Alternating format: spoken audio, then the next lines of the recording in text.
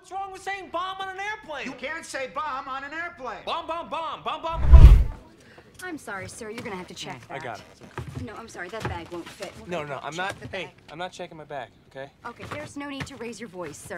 I'm not raising my voice. This would be raising my voice to you, okay? I don't want to check my bag, okay? And by the way, your airline, you suck at checking bags, okay? Because I already did that once and you lost it. And then I had everything screwed up very badly for me, Uh, okay? well, I can assure you that your bag will be placed safely below deck with the other luggage. Oh, yeah?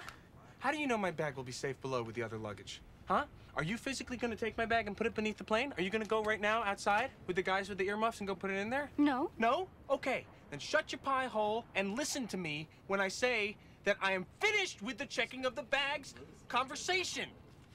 Sir, we have a policy on this airline that if a bag is this large, Okay, you know what? Take grab me a little pause oh. off of my bag, okay? It's not like I have a bomb in here. It's not like I want to blow up the plane. Sir! I just want to stow my bag according to your safety regulations. Sir, Hey, hey, sir. if you would take a second and take a little sticks out of your head, clean out your ears, and maybe you would see that I'm a person who has feelings, and all I have to do is do what I want to do, and all I want to do is hold on to my bag and not listen to you. Uh and the only way that I would ever let go of my bag would be if you came over here right now and tried to pry it from my dead, lifeless fingers, okay?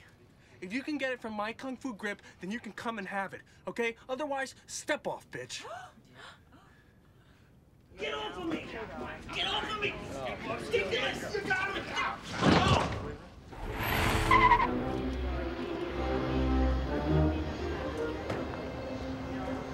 Hey, hey, you can't leave your vehicle unattended. Tow it. I've got a plane full of people saying you threatened that stewardess. I was not threatening her. I was just trying to get my bag into the overhead storage thing. You were acting like a maniac and you threatened her with a bomb. No, I said I didn't have a bomb. You said bomb. I said it's not like I have a bomb. You said bomb on an airplane. What's wrong with saying bomb on an airplane? You can't say bomb on an airplane. Bomb, bomb, bomb, bomb, bomb, bomb, bomb, bomb, bomb, bomb, bomb, bomb, bomb, bomb. You gonna arrest me? You assaulted an airline What if I was in, employee. in the military and I was a federal offense. bombardier? Right there, bomb, I bomb, got bomb, enough bomb, to bomb, put you bomb, away bomb, for a bomb, few bomb. years. Norm. Take five. I got a specialist here. Bye, Norm.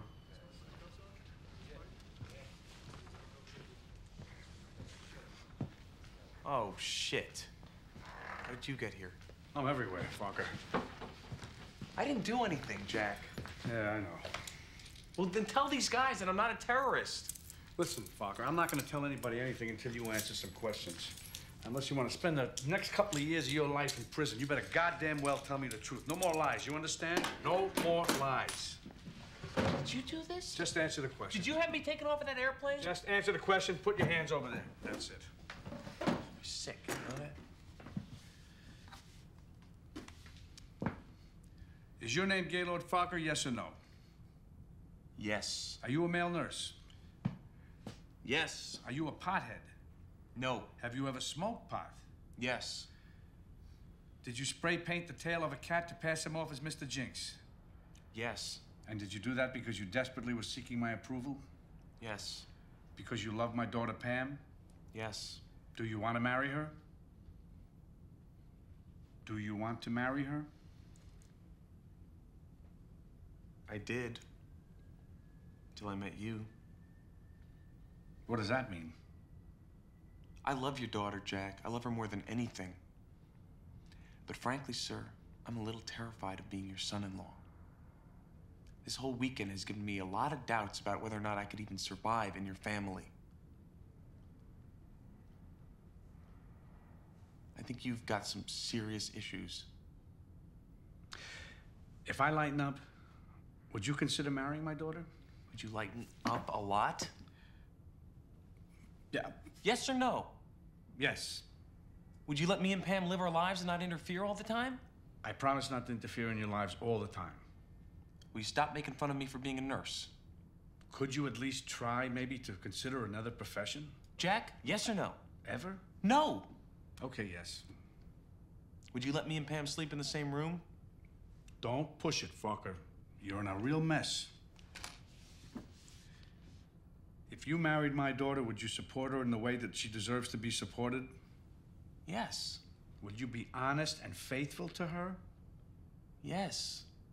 Will you devote yourself entirely to her for the rest of your life? Of course. Gaylord Focker? Will you be my son-in-law?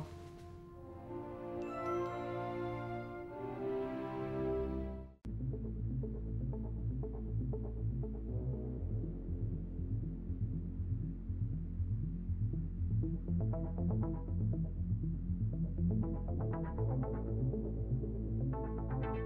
you.